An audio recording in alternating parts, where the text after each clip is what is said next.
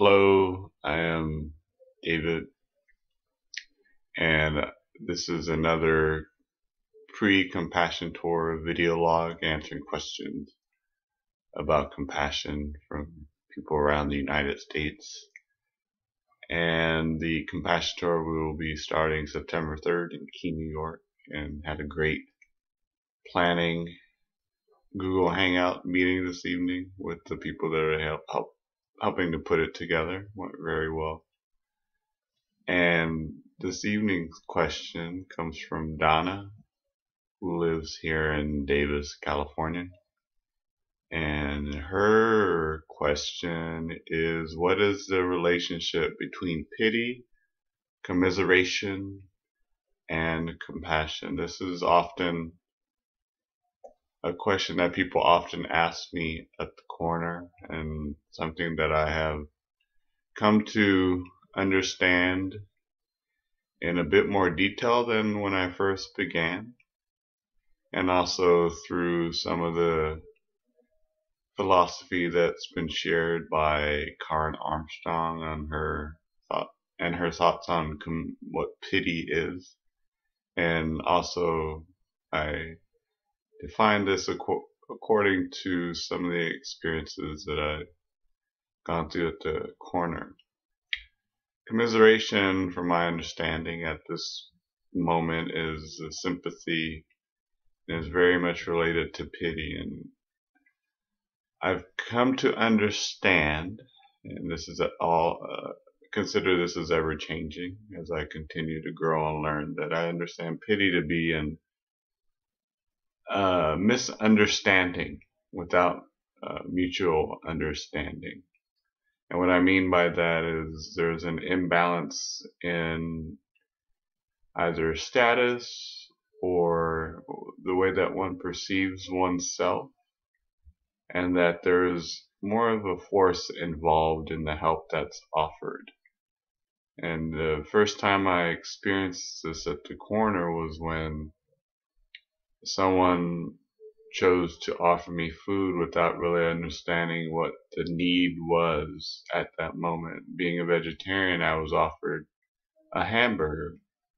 And although the offering was given in total generosity, I believe it was done with a sense of pity, as though there was something that the person offering felt that was needed for someone else without really taking the time to understand what that need is. And I think this is also done on a larger scale when it comes to services that seek to help nonprofits and sometimes governments even without really understanding the needs of the individual or the people that are involved and in my own evolution of compassion, I've included mutual understanding as the four, one of the four components. First one being listening, second one being acknowledging, third one being mutual understanding, and the fourth one, which I believe to be most important, is action. And I think commiseration and pity are all can stay at and in, in an inactive state. I believe compassion is action, and is actual action once the listening and acknowledging and mutual understanding has come to pass, that there's something that's done to help allevi alleviate the suffering that's involved. And I know there are exceptions. I and without children, though, I would say there are moments when a parent must without mutual understanding, if a child is running across the street, take action in order to help alleviate suffering that may happen, or someone that is laying unconscious on the street is in, and is in need of medical help, that is compassion. I myself have been in circumstances where I felt that uh, because of someone's mental illness, that's another case that it may be without mutual understanding.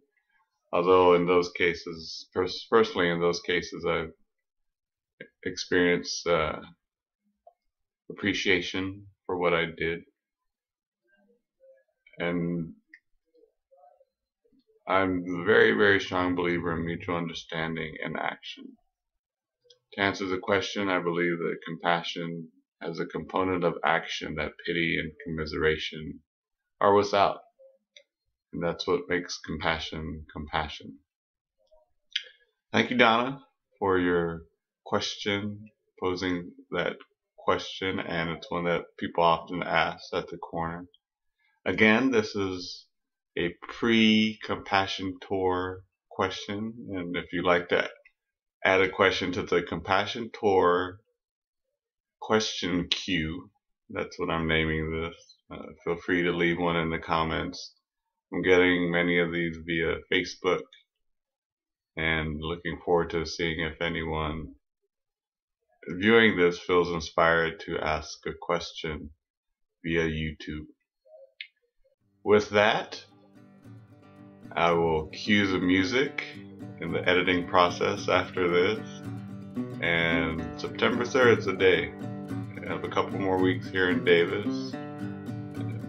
Looking forward to all the blessings and grace at hand and bringing awareness to compassion around the United States and elsewhere.